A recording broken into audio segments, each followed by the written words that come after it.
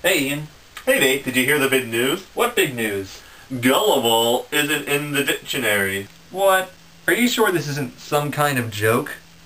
What do you mean? Well, is gullible really not in the dictionary?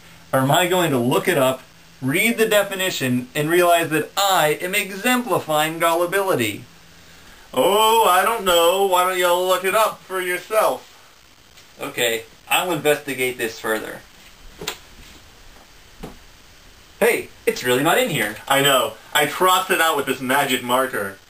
Gotcha! Nice work, Ian. You just ruined a perfectly good dictionary.